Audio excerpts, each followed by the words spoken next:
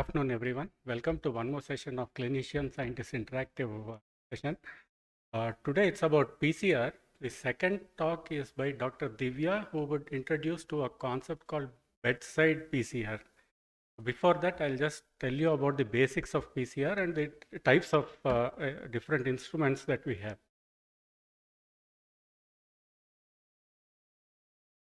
Now, uh, what is PCR? PCR is the technique that results in the exponential amplification of a desired region of a DNA molecule in vitro. Now, uh, why? Why do we need PCR? Is to generate millions of copies of a particular section of DNA from a very small original amount. I would draw your attention to very small original amount. So that's the reason because there's a limitation on the amount of DNA that is available we need to amplify it so that we can do the downstream analysis of that particular stretch of DNA. Say, for example, to detect various infectious organisms or to detect variants in DNA, these are one of the very few uh, reasons that we amplify it and then uh, do the uh, downstream process. Of course, it was invented by Kary Mullis, which was a revolution, I should, I should say, because molecular biology has changed after this particular invention. Uh, I, it, it's very difficult to imagine a particular protocol without doing a PCR first, more so in genomics based uh, work. He was a scientist at Cetus and it was uh, uh discovered, invented in 1983 and he received the 1993 Nobel Prize for this particular discovery in uh, chemistry. Now the basic principle is you have a template of DNA which you wish to amplify and it from one particular template you get two templates and so on. The cycle goes on. So it exponentially amplifies during each cycle. And that's the way we, that's the reason we do a pcr as well. Uh, uh, why the name pcr is because we use an enzyme in the reaction which is called as dna polymerase which actually faithfully replicates the template dna and the product of the first reaction actually forms the template during subsequent reactions. That's the reason we call it a chain. So it is called as polymerase after the DNA polymerase and the chain because there's a chain which forms the template during the subsequent So it's called polymerase chain reaction. Now, if you actually see what happens during a PCR, it is what the same happens during the DNA replication what happens during DNA replication is there's an enzyme called helicase which unwinds the DNA and there's a RNA primase enzyme which introduces a primer that binds to the single stranded DNA. That's because DNA cannot replicate if it is not double stranded. So what this RNA primase does is, is introduces a RNA primer so that it can become a double helix. And then of course the DNA polymerase binds to this double helix and start synthesizing the newly new uh, strand. This is from the 5 prime to 3 prime direction only. The same happens during PCR also, but we incubate the sample at different temperatures. Now, denaturation, whatever helicase does, we usually heat the DNA template so that the double helix comes apart. That is usually done at 95 to 98 degrees centigrade which is typically for around 5 minutes on the initial cycle and subsequently for 30 seconds to 1 minute depending on the requirement. But heating the DNA template at 98 degrees, actually you are denaturing the template. And subsequently, of course, the region which you wish to amplify, you design your primers specific to that particular region and those primers bind to the template of the DNA which is at a very specific temperature called as the annealing temperature, which depends on the GC content of the primer and the melt temperature of the total primers as such. So at a particular very specific temperature, this particular sequence that you have designed actually goes and binds to the template DNA. And of course, the polymerase is also added during the PCR reaction, so it binds. You have a template, you have a primer that you have designed, both of the to which your DNA polymerase binds and of course you supply the uh, DNTPs and the chain elongation happens. This is typically what happens during a PCR. Extension of course of the DNA polymerase that extends the template happens at around 68 to 72 degrees centigrade and subsequently the final extension happens which is again at 72 degrees centigrade. So this is the typical programming that you employ to amplify a template that wish you wish to amplify. Now, the main aspect of the PCR is primer designing. So here, say for example, the dotted lines is the region that you wish to amplify. So you design your primers upstream of this particular sequence and downstream of this particular sequence, both on the forward and the reverse strand. Of course, you have very good softwares that you give the template to that particular software. There are a lot of other rules which I'm not going into, but you have a specific set of rules that your primer sequence has to be, which is taken care by the software. So if you give your template for which you intend to design a primer, the software designs the primers upstream of the uh, region that needs to be amplified and downstream that needs to be amplified. Of course, this is something called as a forward primer and a reverse primer. So essentially what you're adding to a PCR mix is a forward primer, a reverse primer, the template that you wish to amplify, a DNA polymerase and DNTPs. Of course, these are the minimum requirements for you to do a PCR reaction. Now, once you have amplified your template, the typical way that you check whether you have amplified it correctly or not is something called as a agarose gel electrophoresis. Agarose is nothing but a sieve kind of a thing. So, uh, uh the, the uh, larger fragments have it, they take time to go through this particular sieve, while the smaller fragments, they pass through the sieve very easily.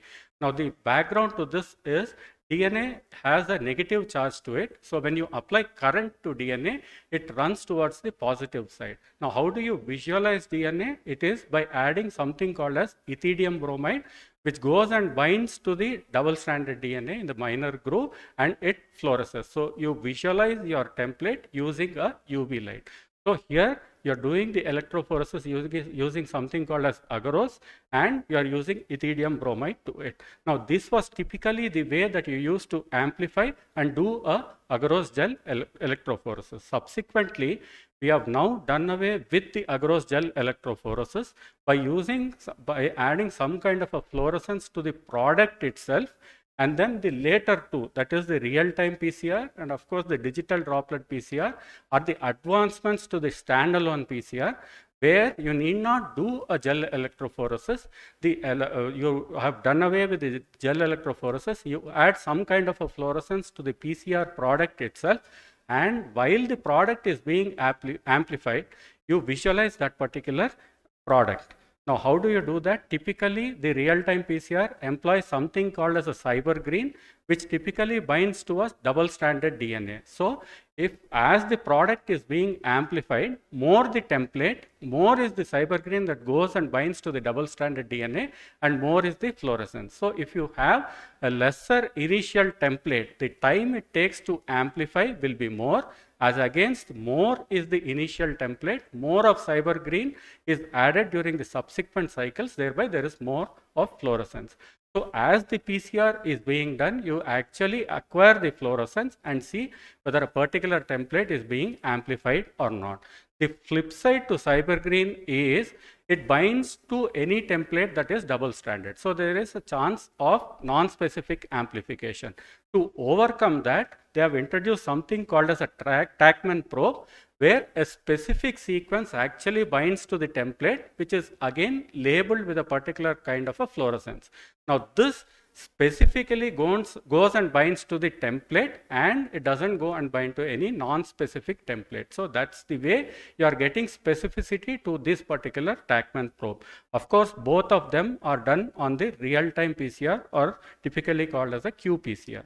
Now, CT value is one of the important aspect of any real-time PCR. So while you are actually doing the PCR amplification, so you have an initial uh, phase where the template is being amplified and the fluorescence from that particular template doesn't come out of the background noise. That is, you have a lot of background SYBR Green or a TaqMan based fluorescence and the amplification doesn't overcome that. Now, typically after a few cycles, what happens is the specific template that you are amplifying, the fluorescence comes from that particular template and it comes out of the background noise.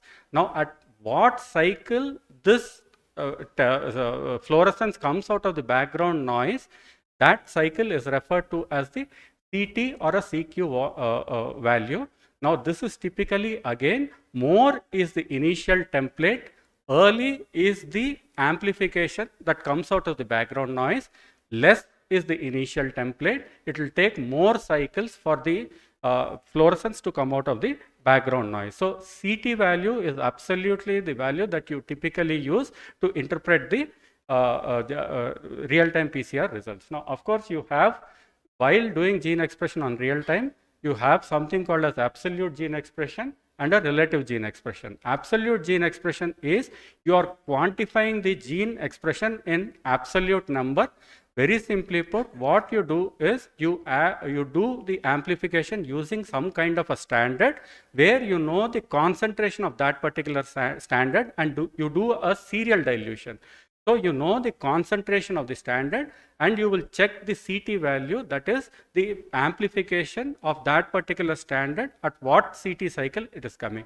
So you run a unknown uh, sample also along with the known standard and the CT value is compared to the CT value of the known concentration which is the part of the standard. Relative gene expression of course is you are comparing the expression of say for example a tumor relative to the expression of the control. So in a cancer setting, I do not wish to know whether a particular gene is what is the actual value of that expression. My only interest is whether it is overexpressed or underexpressed in a tumor. So relative to the control, how is the expression of a particular gene? You do something called as a relative gene expression. So you isolate, of course, the RNA, cDNA, and then you generate the CT values and you compare the CT value of the uh, gene that you wish to identify to a reference standard gene and of course the CT value of the tumor to the control. These are all basically the numbers and 2 power minus of delta delta CT gives you the fold change. This is basically a simple math that you do getting the CT values by running it on a real-time PCR. Now the latest advancement, of course, last week we had an excellent talk on the digital droplet PCR. So this is the other advancement that is actually revolutionizing the way that we look at more so in the oncology segment because there are these rarer uh, variants using this particular thing. So the entire experimental setup is the same, but for you are actually compartmentalizing the entire sample into this small uh, uh, this thing so that the individual reaction actually detects the variant with a frequency of less than 0.01% in the template that you wish to amplify. So this is the latest advancement that has been there. Of course, with respect to the methodology, there are almost lot of PCRs depending on the requirement say for example the inverse PCR, multiplex PCR, depending on the template that you wish to amplify, you use different kinds of modified PCR te uh, technologies. Now the limitations is, of course, the size that you amplify, you have a limited range. You cannot, of course, amplify the entire human genomic region. A part of the genome, anywhere between 700 to probably around 2 kb fragments can be amplified. Anything beyond that is a uh, issue. Contamination, uh, of course, is the devil, which we cannot see. So that we'll have to live with that. So you'll have to be absolutely careful when you're doing a PCR, but contamination is one of the issues with PCR.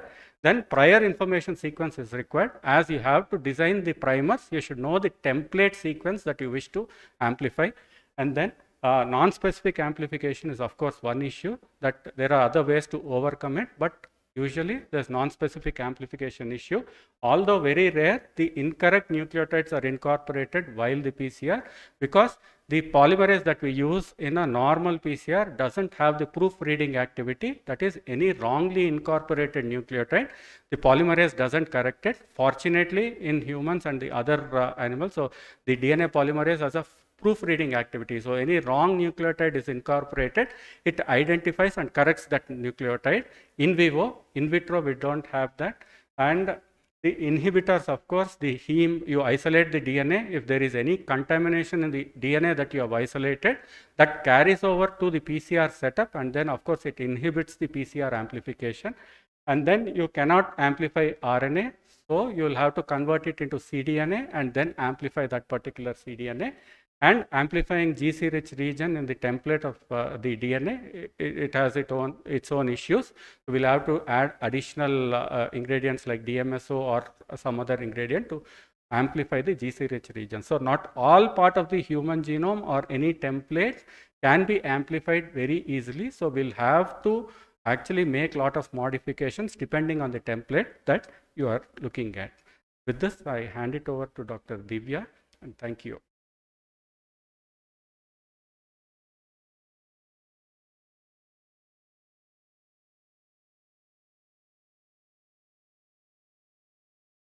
Hello, everyone. Uh, good afternoon. This is Dr. Divya.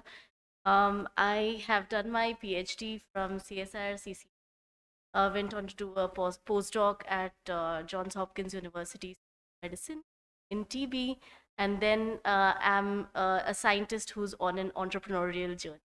Uh, today, first of all, I would like to thank Dr. Shashikala, Dr. G. Rao for having invited me for this clinician and scientist interaction session, which is a great uh, privilege for me to be here interacting with all of you who are doing real impact in this world.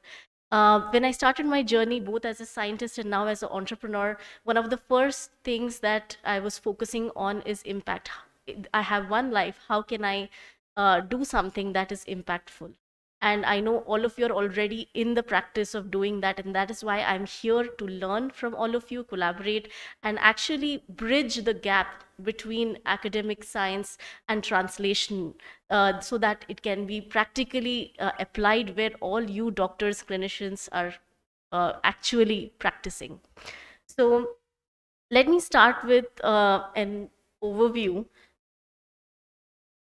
I think both scientists as well as doctors have these uh, a process to do the work. There's of course a scientific method. There's also a doctrine of how to carry about, uh, you know, diagnosis, etc. Um, so the three uh, words are always impact me a lot. Insight, which is basically if there's a particular problem for a scientist, you first want to know everything about it. You get that insight and, and then think about how we can innovate and how we can solve that problem and then design the experiments accordingly. For a doctor, the insight is actually getting to know more about the patient or the problem in hand and then seeing how can that be treated and coming with those insights from their knowledge and practice.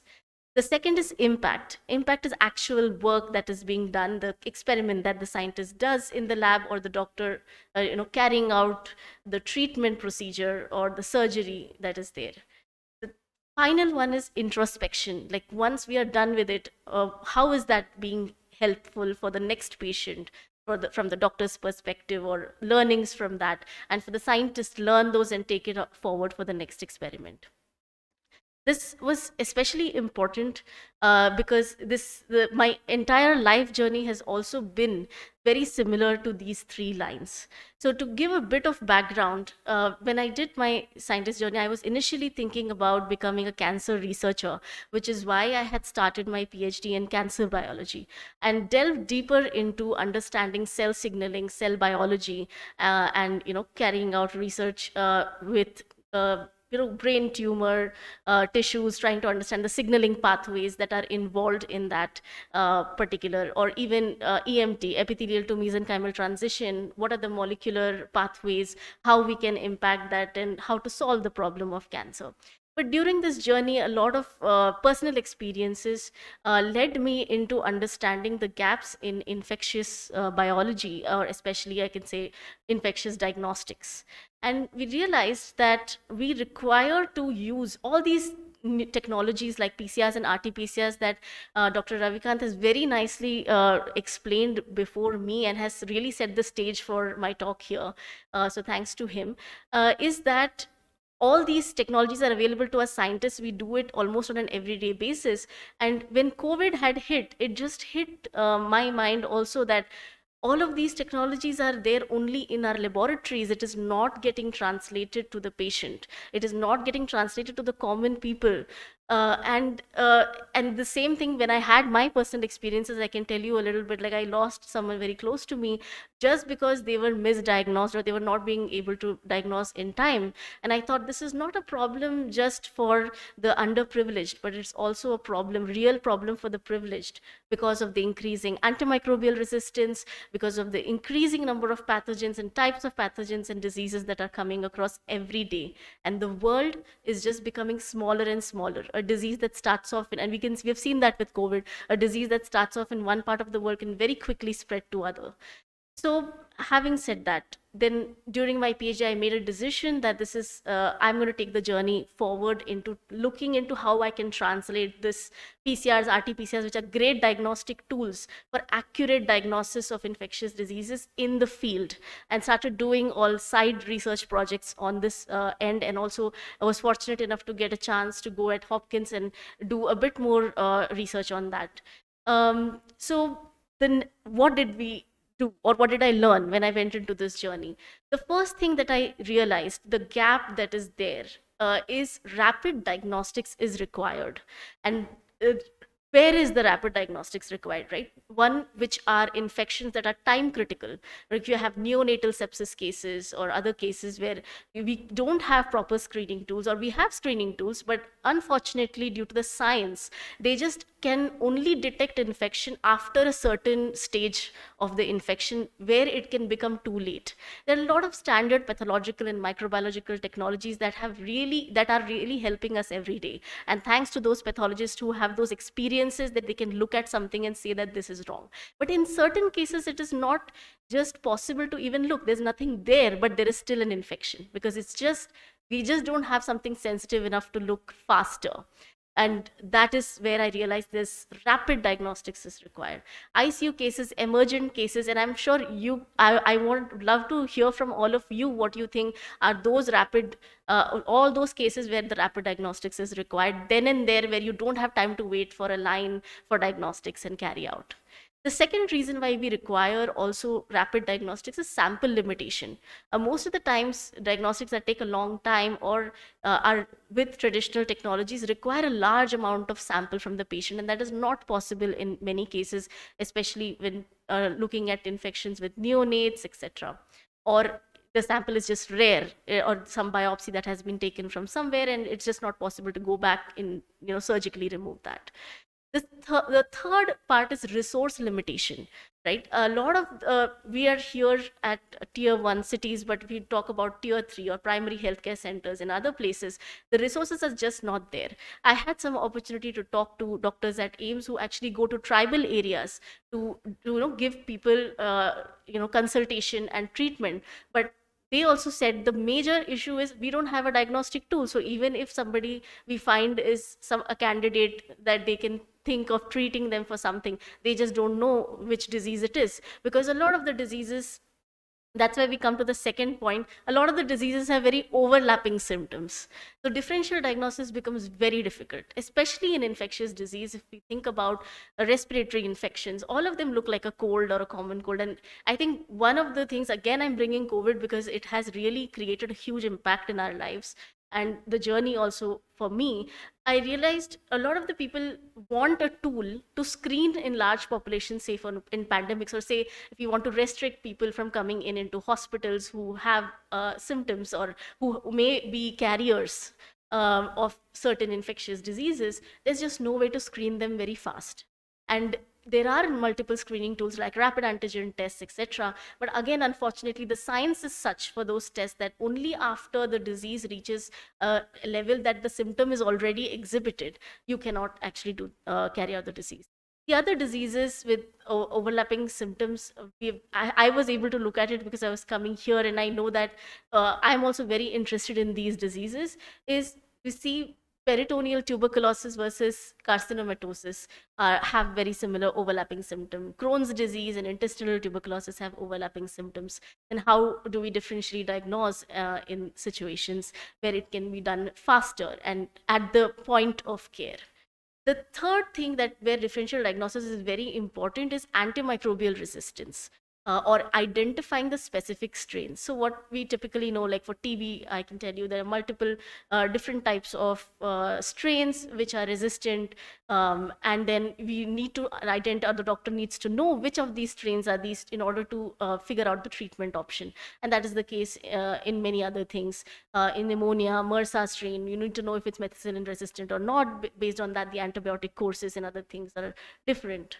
Um, so with these scenarios, the main need of the hour in clinical diagnostics uh, that we learned was that we need something that can be both accurate as well as point of care.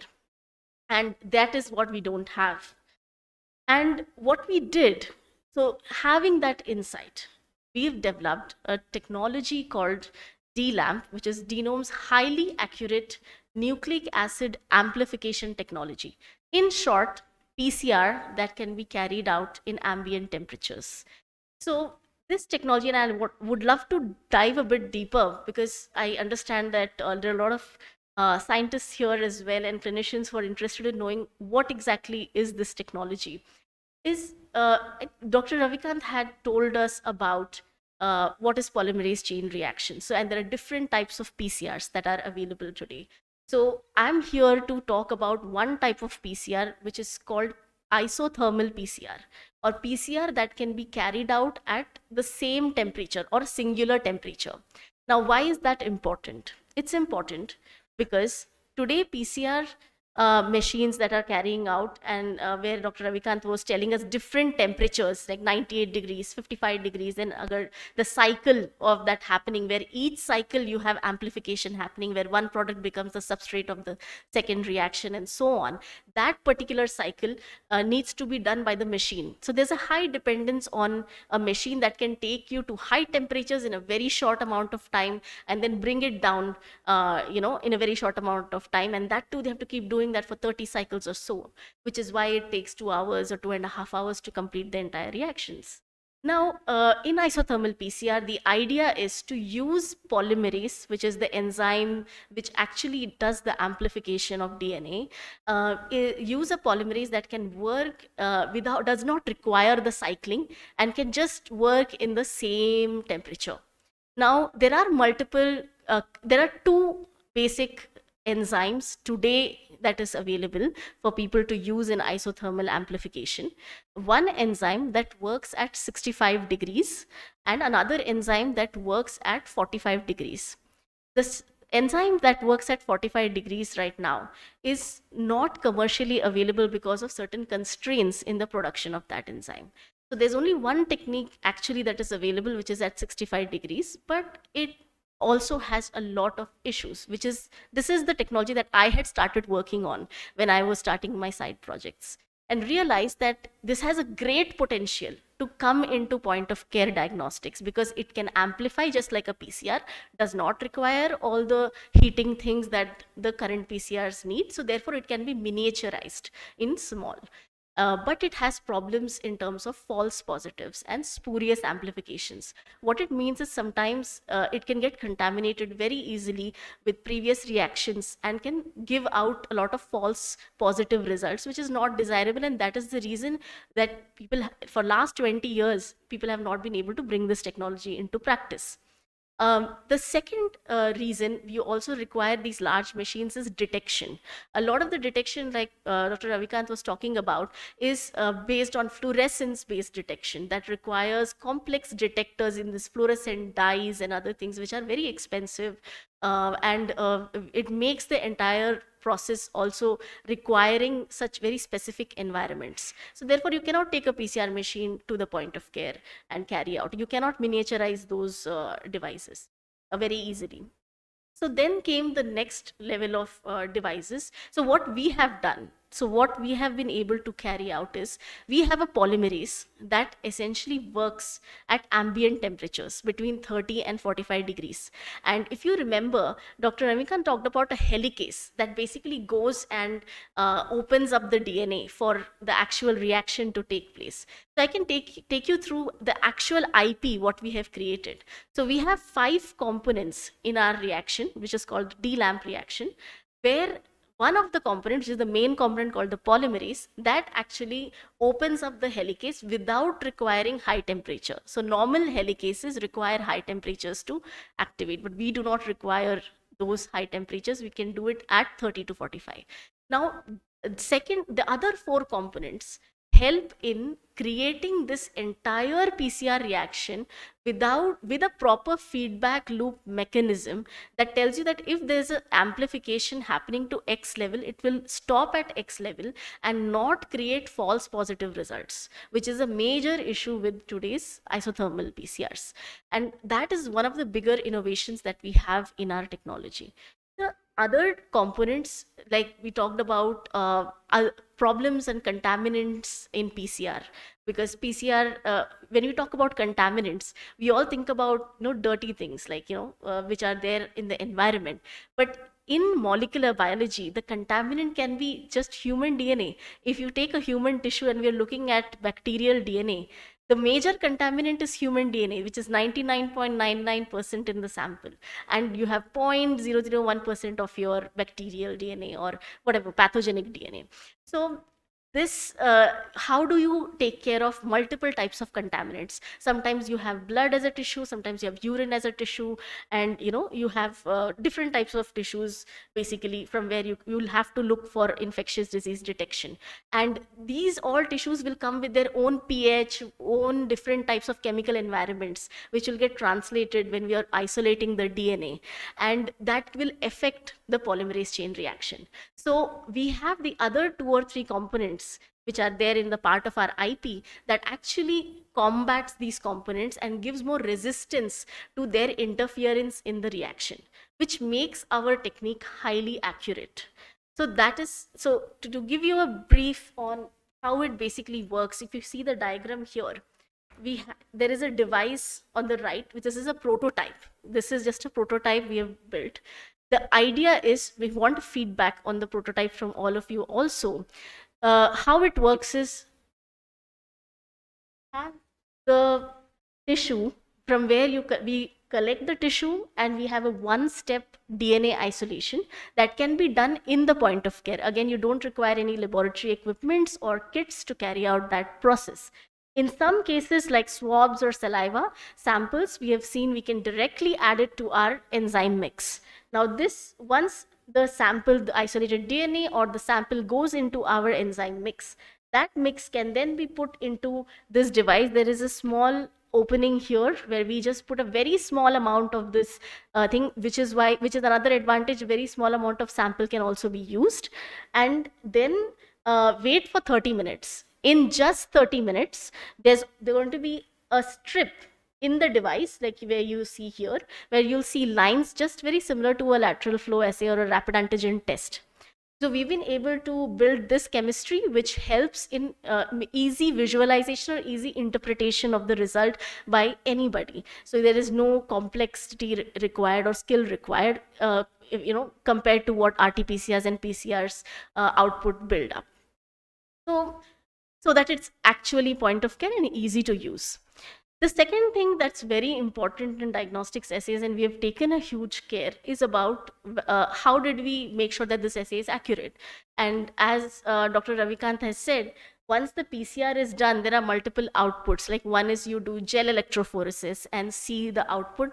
And second is you have fluorescence output to see the amplified results. So with multiple internal uh, technologies like agarose gel electrophoresis and fluorescent assays, we have been able to test it out internally in synthetic samples and then say that, okay, this works, the technology works. Now, in during the technology, there are two, if you look at the technology in general or PCR in general, there are two major components. One is the enzyme component, which where the polymerase and, uh, comes into play.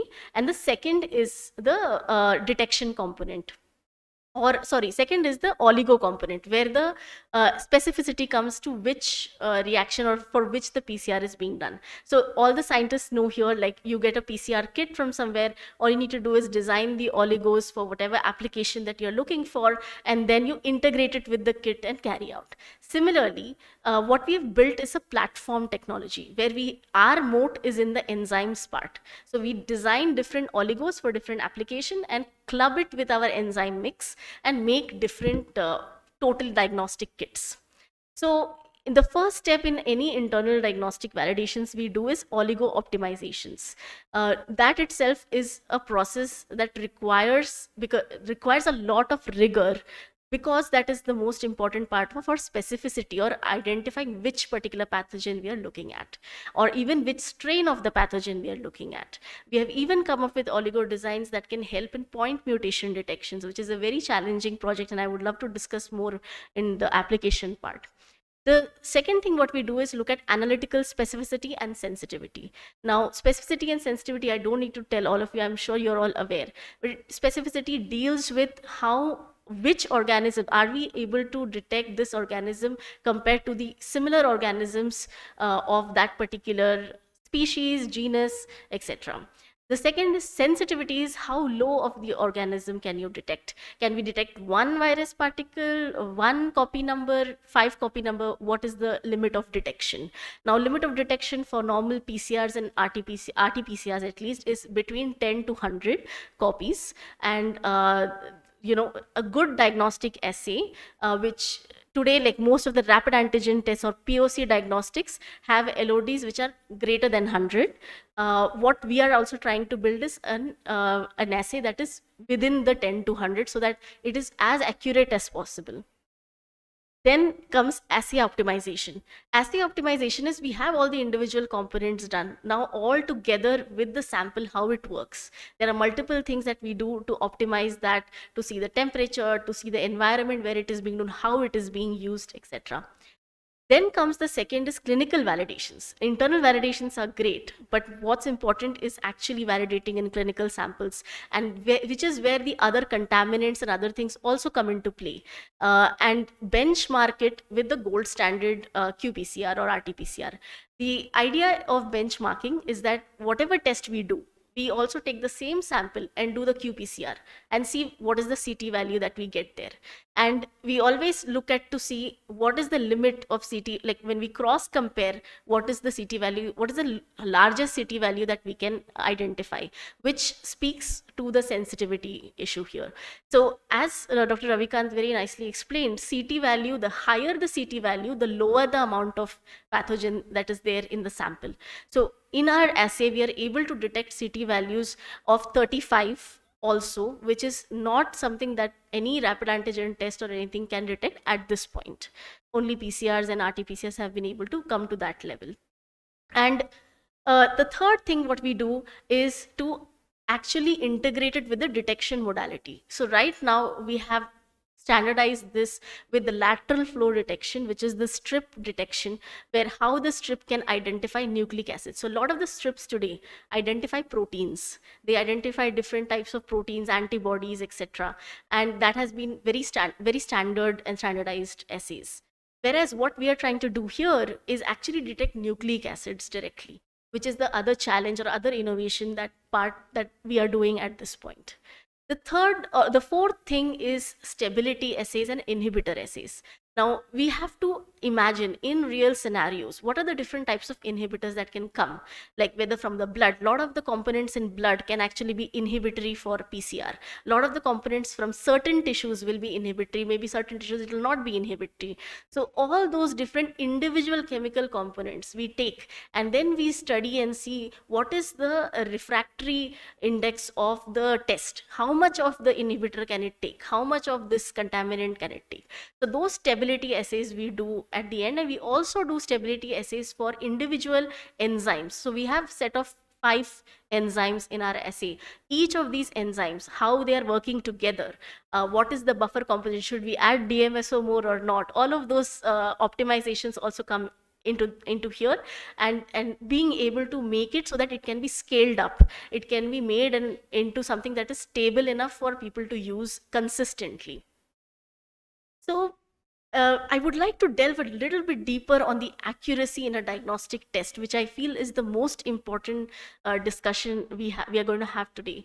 because um, a lot of the uh, tests and uh, things that are there out today many of them don't work. A lot of the times uh, the question comes that uh, there should be some regulations around this and not. But many regulatory tests also sometimes fail.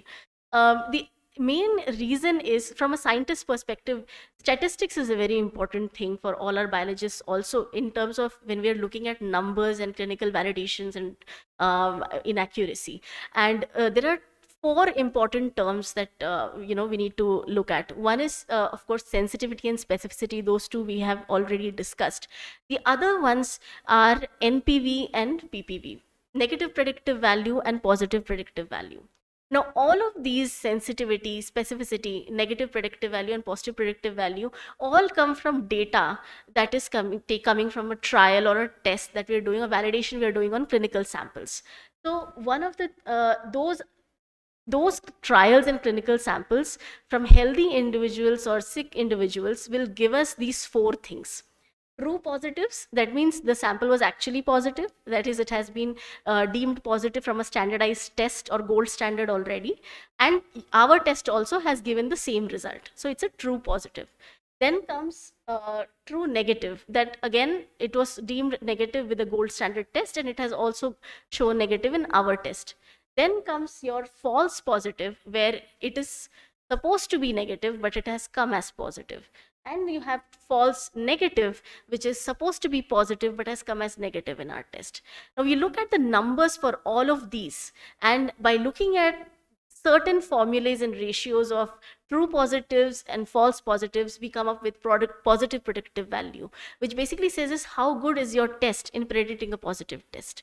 And a negative predictive value with the false negative and true negative is how good is your test in predicting the negative uh, results and this is absolutely important to also note that all of these will depend on what is the percentage of uh, you know samples that you're taking from uh, like negative samples and percentage of positive samples or how many healthy patients you're screening versus how many unhealthy patients because that is uh, something that can be skewed in multiple ways and uh, and given different kinds of numbers so what we do, and as scientists, we made sure when we designed everything is whatever the sample number, the the ratio of positive to negative patients should always be 1 is to 1 or closer to 1 is to 1 so that we can have a good power in the diagnostic test. And um, and what we have now done is already tested in synthetic samples and, and clinical samples, more clinical samples in COVID because we had access to it because CCMB was a COVID diagnostic lab at the time and we were working there as uh, volunteers. So uh, we tested in almost uh, 200 uh, patient samples and 300 synthetic samples uh, and got uh, NPV and PPV which is greater than uh, which is between 95 to 98 percent which is very similar to what uh, RT-PCR or qPCR has and we also did synthetic samples and very few clinical samples we were able to get for pneumonia. And we did for m bovium all in uh, uh, all in the sam clinical samples. Uh, and we got again a greater than 95% uh, npv and ppv which is to say that we have a sensitivity and specificity uh, between 95 to 98% in our test. And that tells that this is a technology that is coming up as an accurate tech but again, what we need to do next is actually take all of your help in doing it in larger samples and identifying different other applications where this is actually required because we have built a platform where all the application has to be then decided by our collaborators. So the current collaborations that we are undergoing, uh, one is with Hinduja Hospitals, where we are looking to uh, create a panel of tests with our DLAM technology in pneumonia. There are various species that causes pneumonia, and there are multiple strains in each of them. So we are targeting that as one of our first uh, pilots, and pilots that are going in parallel. The second is uh, basically being part of um, the BIRAC uh, group because we got a grant recently and we've been able to successfully complete our missions in the grant. We are part of the National Biopharma Mission clinical trial sites where we have access to large trial sites or once we do a pilot or a collaborate uh, with doctors identify where we have to build the technology we'll build it and then we, we have the access to go and actually test it in large sites the third is uh, we are right now in collaboration with another company and uh, Apollo Hospital, where we are trying to take up the challenge of detecting KRAS mutations in cancers. Now, KRAS mutations uh, have a lot of um, impact on multiple types of cancers, including pancreatic and colorectal cancers, I'm sure all of you know. And there are multiple um, uh, mutations in codon 12 uh, and 13, and this uh, is, is important to know which of these, which are the mutations that are being affected in order to go for the treatment options. The one of the challenges that PCRs and RT-PCRs have in oligo design is that point mutations are difficult to detect because um, you know when you have just one difference uh, in in the nucleotide, sometimes you can have non-specific uh, amplification happening and that is a huge problem in as as a uh, in the entire PCR um, uh, as a this thing. So what we have done is we've again innovated there where we are trying to use our technology but there's also putting innovation on top of that to see how we can reduce those false positives and make that more accurate. So for the scientists here uh, look at it as like two lock mechanisms. So oligo gives specificity as the one step but uh, we have added other mechanisms which will add the second step. So it's like two step verification we have uh, in our phones for multiple things.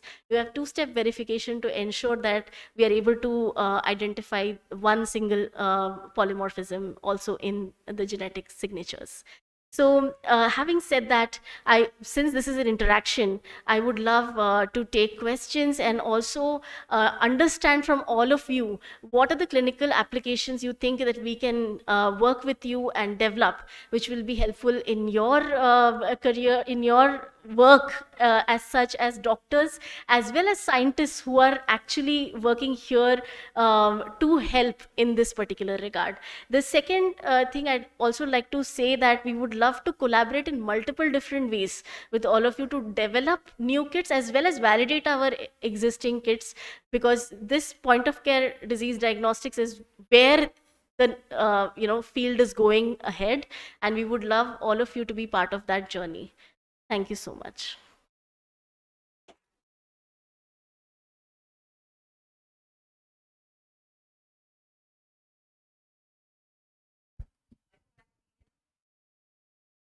Do you have also mycobacterium tuberculosis? Yeah, that's a great question. So we have designed for mycobacterium tuberculosis, but we are right now working uh, to get samples to test on it because that is a bit of a challenge here. But what we did is when I was at Hopkins, we were able to test a very few uh, number of samples uh, and uh, sort of like a very POC kind at the stage where my tech also was in POC stage. It was not fully made and we were able to again detect it. But we are looking looking for more samples at this point. That's what we we we do have a lot of samples here to test. You know, we have both positive as hmm. well as negative. Yeah. The pulmonology department will have the pulmonary samples, fluids. But uh, what at PCR lab in the micro, uh, research labs do is the tissue analysis. Yes. Tissue, uh, mycobacteria tubi versus Crohn's disease. That's right. where we do on PCR, but that takes time. You know, we we do it in batches. But this seems to be very good for point of care. If it is done in the colonoscopy or endoscopy area itself, within half an hour, that hmm. that will be very good. So we will be having lot of samples which are tuberculosis positive as well as negative with us DNA. If we can test that, that would be very good. Thank you so much, Dr. Shashikala. I mean, uh, that helps me a lot. We're also interested in intestinal TB, uh, apart from the pulmonary uh, TB or any other disease. So we would definitely, I'll talk to you about that. I'm just taking notes here. Nice talk. Uh, I have a question. Is your amplification and isolation in the same tube or is it in two different tubes? That's a wonderful question. So what we are doing is uh, the purification part, we are putting a one step uh, isolation. So where uh, it's going to look like a contraption, it's going to look like a syringe. All you need to do is just put it in and just press it, and whatever comes out, you can directly put it into our DLAM mix. So that we will supply it along with this, so that people can use it there. And your that syringe is the same across different tissue types. Yes, we are trying to make it uh, similar across blood as well as soft tissues, all kinds of soft tissues. And what's the quality parameter that the lysis is correct? That's a wonderful question. So again, what we do is uh, internally, uh, once the tissue is lysed, apart from PCR, we also look at the quality, uh, the differences in how much percentage DNA, how much percentage protein, how much percentage other contaminants are coming in from the tissue. And we have different tests for each of these parameters and then determine a specific range. So now that we know what are the ranges of our contaminants, we are able to uh, do a much, uh, you can say, uh, way in which we can ca- figure out, okay, this percentage is good enough to carry out and then test it out. And if you take it to the bedside, do we need to do all these quality parameters or? No, no, no, no. This is uh, on the end of the user, they don't have to do it. We are already making it and we say then these, these, these tissues, it should work. So, and we'll specify how much amount of each tissue has to be used. That's it. There's nothing else that needs to be done My this. second question is with regard to the KRAS mutations. Hmm. Do you multiplex or each thing is a single? That's a wonderful question. I didn't talk much about multiplexing. So, multiplexing, uh, there are two types of multiplexing. One is uh, we have different targets for the same disease, and second type of multiplexes, you have different diseases for the same sample. Now, uh, multiplexing in terms of KRAS, uh, yes, we are trying to develop a multiplex uh, PCR, but not in the device format. We are using our own technology, but we are going to devise it into a plate format. So the entire thing, so the reagent itself will be coated on the plate. Uh, different wells will be for different mutations, and then you all you need to do is put the sample in each of these wells. Wait for 30 minutes, and you can either see a color change that tells you a positive or a negative that is one way that we are thinking about in terms. The second is uh, identifying which specific mutations people want. If they don't want to know all the 12 uh, uh, then they can pick up which mutations like which are the common ones g12 uh, c etc and then uh, and then have this device equivalent panel where they can do three mutations at one go that is one. The third is we also have some innovation in genomics side. So because i know a lot of uh, the tests also go for genomics because you want to know what other mutations if it's just kras if it is nras or some other mutations we uh, this once you do the plate technique the same reaction can be then taken for genomics without having to take the sample again from the patient. So that is a second level that we are trying to build. Sure. Did you see any false negatives in your study? So so, in- what was the reason for the false negative? Right. So false negatives, we could not identify the reason. Um, it it's it could be that the sample variation. So we because we're taking clinical samples, some sample variation, some contaminant that we were unable to identify and uh, mitigate. Thank you. Thank you. So what's the minimum threshold for the DNA DNA as a template in your reactions? Is like 50 nanograms, 20, 10? That's a wonderful question. Again, this is to do with a copy number.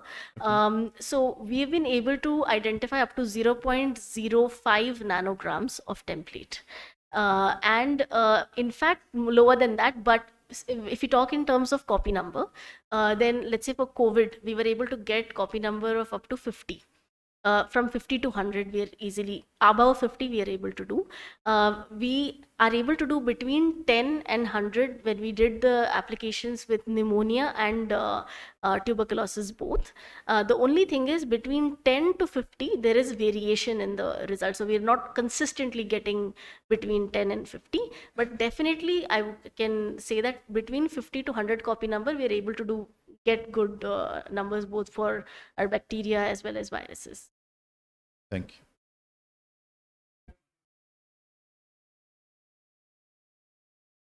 So it is uh, in the proprietary stage right now, but we would love to discuss more later.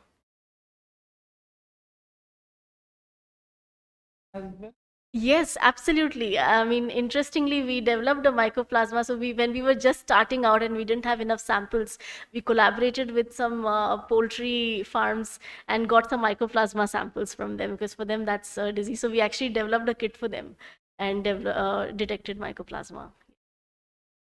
So anything, any bacteria, virus, fungi, anything with a genetic signature, any mutation, uh, any uh, you know um, thing we can de- definitely detect because it's based on the same uh, you know principles of PCR and RC- RT-PCR essentially. What is the likelihood ratio of this test? Uh, likelihood ratio. I'm sorry, I'm not aware what on what context. Uh, you have given um, positive predictive value, negative predictive value, sensitivity, specificity. Yes. like, likelihood ratio is one of the component uh, to Hmm. to uh, understand about the how accurate the test is. Hmm, hmm, hmm. Um, I'm not aware of that particular term. Maybe I'll get back to you for sure. Yes, I'll find out and I'll get back to you. Thank you.